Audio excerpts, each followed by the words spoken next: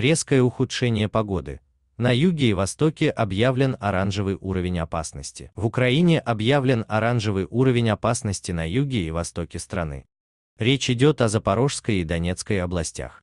Об этом сообщает РБК Украина, ссылаясь на пресс-службу ГЭЧС.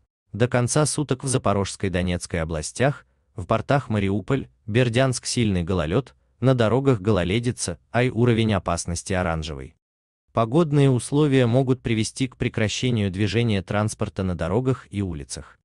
Напомним, РБК Украина собрала информацию о непогоде в ряде областей Украины.